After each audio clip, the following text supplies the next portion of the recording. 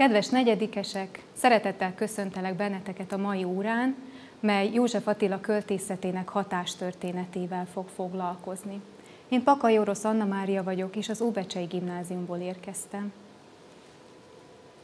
Az alábbi képet választottam bevezetésképpen, hiszen ez a ö, kép József Attila ö, emlékművét ábrázolja a Balaton Szárszói Parkban, mindössze néhány méterre attól a helytől, ahol önkezével vetett véget életének. Ortutai Tamás szobrászművész és Sarkadi Mária építész kezemunkáját dicséri ez az emlékmű, mely sineken guruló vonatkerekeken áll, és József Attila verseiből származó idézeteket tartalmaz. Ezzel a képpel arra szerettem volna egyrészt rávilágítani, hogy József Attila költészete a mai napig inspiráló hatással van, nem csak a szépírókra, hanem a képzőművészekre és a zeneművészekre is, hiszen rengeteg megzenésített verse van, illetve musical is készült Én József Attila címmel. Másrészt a célom az volt, hogy bemutassam nektek, hogy azok a helyek, ahol József Attila rövid élete során megfordult, milyen kultikus helyekké váltak Magyarországon. Tverdota György a Komor feltámadás titkai című tanulmányában azt állítja, hogy a poéták között akad olyan is, akinek előbb meg kell halnia, hogy nagy költőként megszülethessen. És hogy mennyire igaz ez József Attilára, azt az elkövetkezendő 15-20 percben fogom bemutatni. József Attila vitathatatlanul népszerű, művei mellett élettörténete is hozzájárul ehhez a népszerűséghez. Ám nem volt ez mindig így, tudjuk egyrészt életrajzából, másrészt pedig a verseiből is, hogy kapott az életben hideget, meleget, ugye egyrészt a magánéletében, másrészt pedig a kortársaktól is. 1937. december 3-a után, ugye tragikus öngyilkosságát követően, megváltozik a róla való beszéd. Egyetlen hónap alatt 70 nekrológ lát napvilágot, nekrológ alatt azokat a beszédeket és cikkeket értem, amelyek az elhunyt személy életét, illetve munkásságát méltatják. Kollektív siratása zajlik nem csak Magyarországon, hanem Magyarországon kívül is. Akik támadták vagy cáfolták valaha is a tehetségét, felülvizsgálják véleményüket. És elindul a bűnbakkeresés, ki az, aki felelős József Attila haláláért. És miközben az irodalmi, kulturális élet nagyjai egymásra mutogatnak és keresik a bűnbakot, addig feléled a szélesebb közönség érdeklődése a költő és életműve iránt. 1938 májusában német Andor szerkesztésében megjelenik József Attila összes versei, versei és válogatott írásai. Nem kell csodálkoznunk azon, hogy mekkora népszerűsége volt ennek az összegyűjtött kötetnek, és hát a visszaemlékezések sorát is megindítja ez a, ez a népszerűség. Először József Jolán, ugye József Attila nővére jelenteti meg a maga visszaemlékezését, majd Galamb Ödön, aki makói tanára volt József Attilának, és nem csak tanára, hanem pártfogója is, és német Andor is megírja a maga visszaemlékezését, ő pedig József Attila barátja volt és kortársa. 1945 után már a politikai pártok, és itt főleg a szociáldemokrata pártra és a kommunista pártra gondolok, birtokukba veszik, sőt mondhatni ki is sajátítják azokat a verseket, amelyek számukra kedvezőek és kedves darabok. A kommunistáknak ugyebár kellett egy proletár költő, és hát kézenfekvő volt pont a középső pályaszakasz kötetét kiemelni, a Dönsd a tőkét ne síránkoz címűt, és ezt teljes mértékben kivetítették az egész életműre. József Attila államosítása zajlik, és kultuszát a kultúrpolitika is intézményesíti.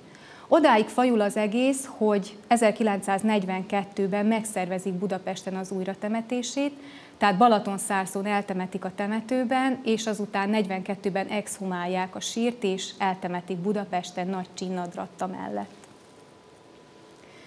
Az 50-es évek végétől már egyfajta elmozdulás figyelhető meg, és a tulajdonképpen a középső pályaszakasz méltatása mellett már kezdenek fölfigyelni a korai és a kései József Attila költészetére is. Fontos tanulmányok látnak ekkor napvilágot, itt főleg a 60-as évekről beszélek, hangkis elemérést Verdotta György is megírja maga tanulmányát. Egyre növekvő népszerűségét mutatja az is, hogy a 45 utáni költőgeneráció folytatható hagyományt lát a költői életműben.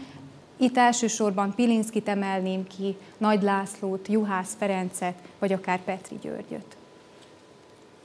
A 70-es, 80-as években tovább bővül a költőről szóló szakirodalom, sőt olyan munkái is napvilágot látnak, amelyek korábban nem jelentek meg. Vágó Márta, ugye az első nagy szerelem, I. és Gyuláni Kozmuca Flóra, és ugye Szántó Judit az élettárs is megírja maga visszaemlékezését, és ezek a munkák tovább árnyalják a, a költői életrajzot. Egyre észrevehetőbbé válik a tény, hogy József Attila költészete kikerül a hatalom felügyelete alól, hiszen felfedezik valódi mélységeit és szépségeit. 1994-ben a Balassi és Cserépfalvi kiadó egy tematikus versantológiát jelentett meg, már nem sajok címmel. A kötet alcíme szerint József Attila legszebb öregkori verseit tartalmazza, vagyis 13 költő 20 versben eljátszadozik a gondolattal, hogy mi lett volna, hogyha József Attila nem veti magát a vonat alá, és megírja mondjuk 50, 60 vagy 70 évesen öregkori verseit.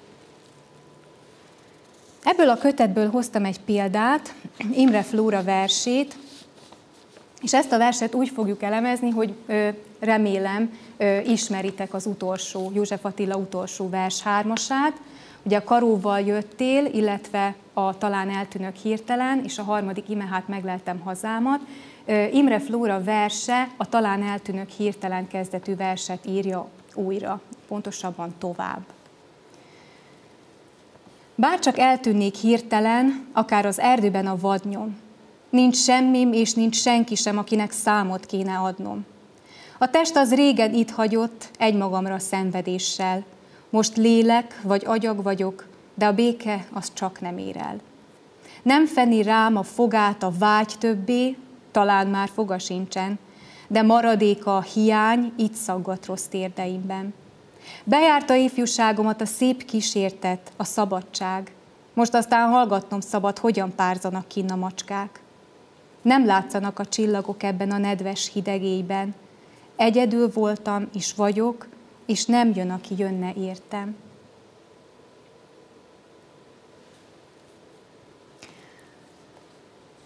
A két vers érintkezési pontjaira térnék ki.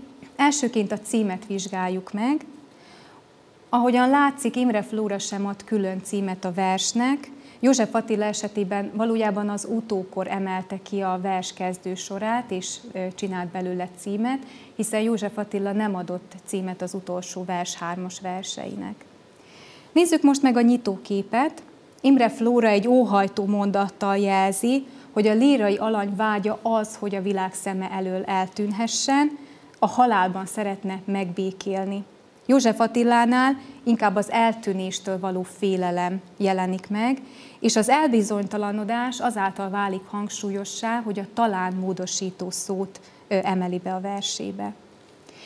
Mindkét versben közös a számvetés mozzanata, de Imre Flóra lírai anyaga, alanya nem azt sírja el, hogy tehetségtelen, illetve elveszítette, eltékozolta az értékeit, hanem azt, hogy egyedül van és magányosnak érzi magát.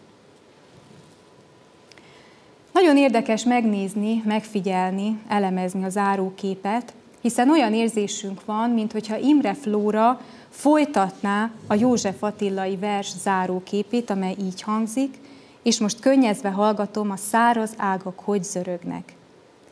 Míg József Attila versében a létező szól a lét utáni állapotról, addig Imre Flóra lírai alanya tulajdonképpen ebből az utániságból építi fel önmagát. Ezt ezzel az idézettel igazolnám. Most lélek vagy agyag vagyok, de a béke az csak nem ér el. Tehát a megváltás, a túlvilági létben való megbékélés óhaja rajzolódik ki a versből, de már a vágyakozás is hiába valónak mutatkozik. Az időviszonyokat is figyeljük meg. József Attila verse a jövővel indít, és a teljes pusztulás, az eltűnés szemléletes képével indít, és tulajdonképpen minden szakaszban a múltat és a jelent szembesíti, és a múltnak a negatív színezete az, ami rányomja a bélyegét nem csak a jelenre, hanem a jövőre is. Imre Flóra versében is ez figyelhető meg, és hogyha ezeket a viszonyokat megvizsgáljuk, akkor értelmezhetővé válik a vers zárlata. Ugye József Attila vers a tél toposzával zárul, mert ugye, mely ugye a halált jelenti, halált szimbolizálja. Imre Flóránál is megjelenik a tél toposza, de kiegészíti az éj toposzának beemelésével, és ezáltal a halál, a szorongás és a félelem erősödik fel.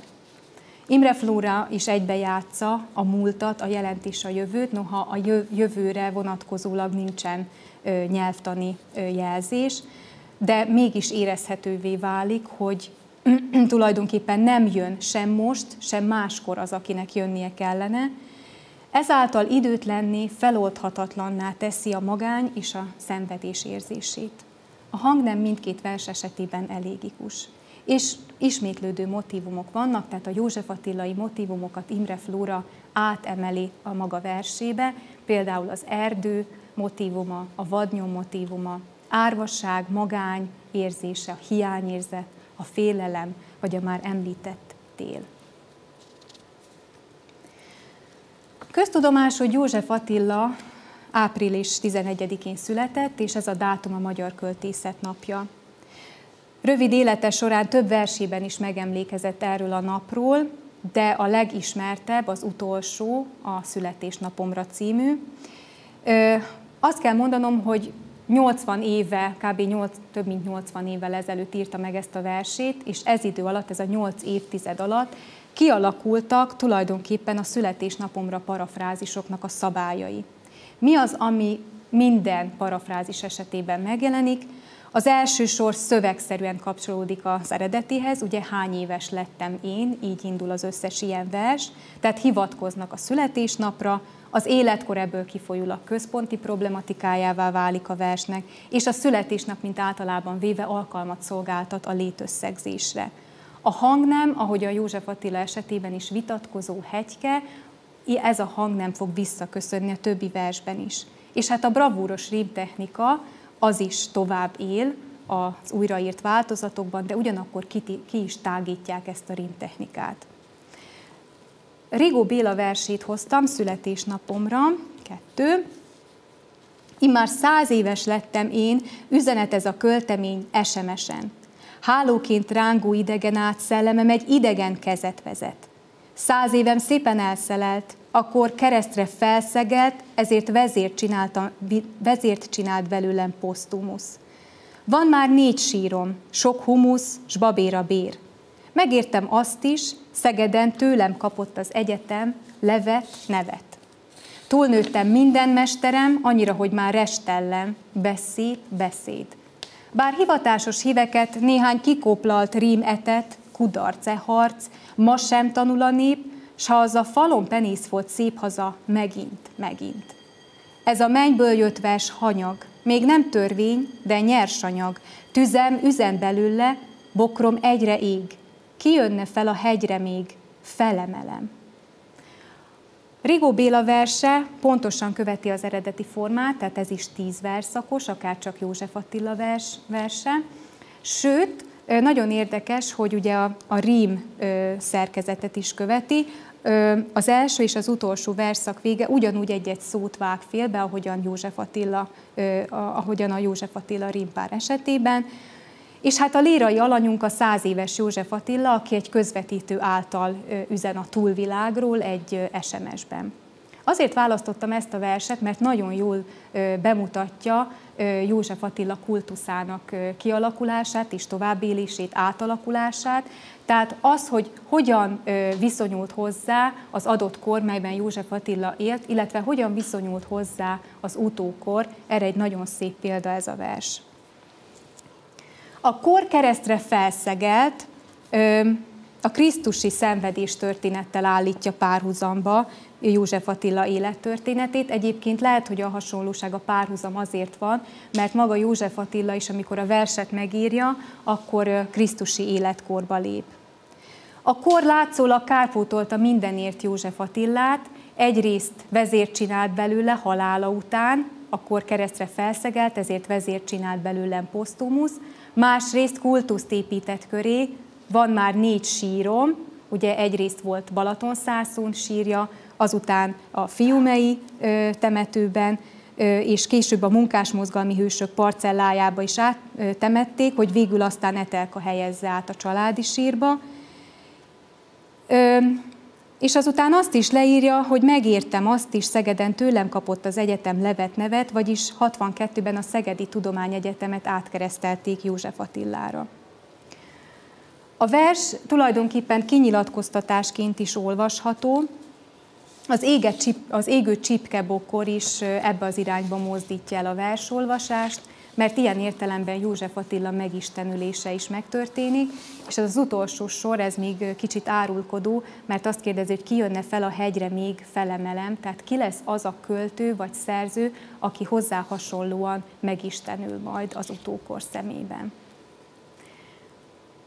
És hogy József Attila költészete mennyire aktuális és mennyire inspiráló, azt mutatja ez a ö, mém is, ugye Lackfi ö, ö, Jánostól származik ez a mém. Aki kevéssé ismeri József Attila ö, életművét, az is tudja, hogy az Altató című verset írja át Lackfi, lehunja kék, két szemét a jog, behunja sok szemét a ház, minden hatóság hunyni fog, aludj el lelki furdalás.